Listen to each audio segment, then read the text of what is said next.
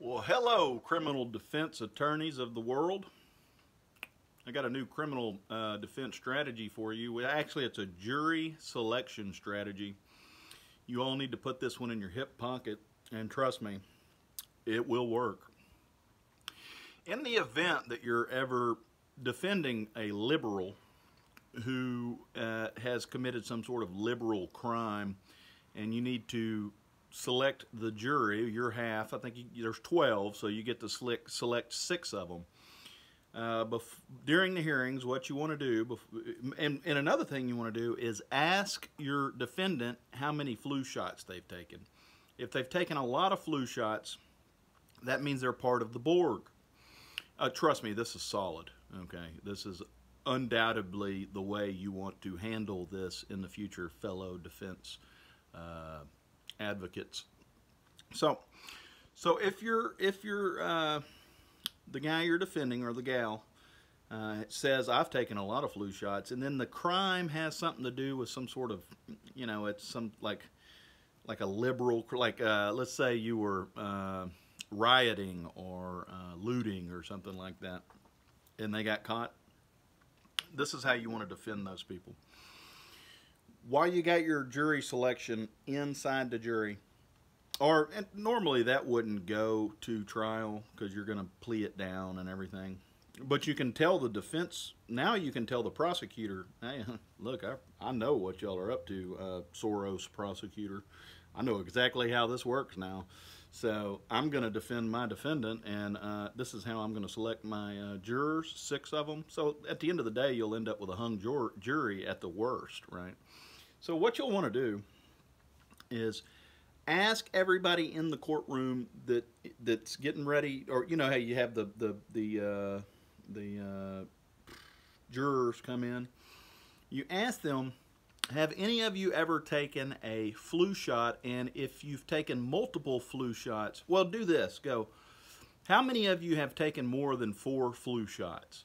And you'll see people all raise their hands. Well, if they've taken more, you tell everybody else just go ahead and leave. Say now the four, the people that are still in the seats, or that raised your hand for you've taken more. I'm getting hammered right now because uh, they don't want me to share this information because it's that solid. So, so you've got all of these people in the courtroom. And now all of a sudden the only ones you have left in the courtroom that you want to select from are people who have taken more than four flu shots and integrate. I'll get into that. We'll, we'll, we'll get into that. So what that does is tell you that these people have enough nanotechnology in them that they're Borg, which means they're Borg and the guy you're defending's Borg, right? Because you've already established that.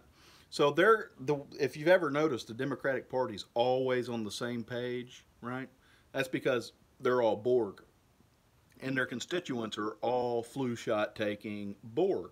And what that does is it puts nanotechnology in you that's driven by satellites. And now you know all of these people always look out for each other and are always this little collective of drones who are always going to look out for each other. So while you're selecting this uh, jury, make sure that you get the drones to be your jurors, right? And in the process of all of that, here's where the the the, the cherry bomb is, right? The the cherry on the top is somewhere in your uh, defense, if you can, say that the government went after the person that you're defending and set them up somehow because they pointed out that the flu shot has mercury in it. So this is a double-edged sword. So now you've got people who don't know that, and they don't know that they were trying to assassinate them by giving them Alzheimer's, which is exactly what mercury in the flu shot does. But that nanotechnology is in there as well that's going to make sure that he gets off. Now you piss the jurors off when you tell them that this guy, well, it ain't going to piss them off at him. It's going to piss them off at the system.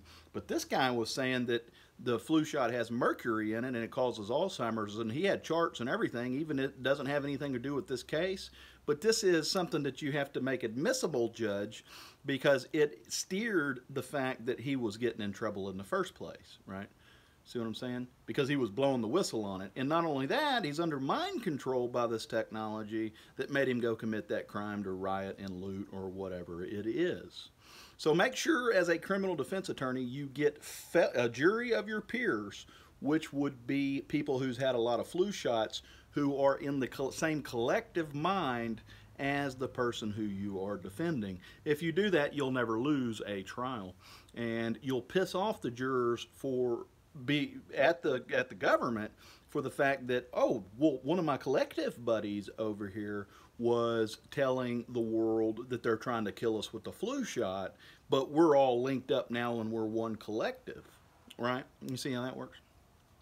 So that's a double-edged sword there that I would put in my hip pocket there um, fellow defense advocates uh, uh, uh, criminal defense attorneys and uh, all of you of the like that is how you want to select your half of the jury in the future in those circumstances. And you can take that same information, even if it isn't like, let's say you just have somebody that's never taken a flu shot. Well, now you know what to pick. You're up, now you do the reverse, right? You do the opposite of that. See how that works? So it'll make your um, your win rate go way through the roof.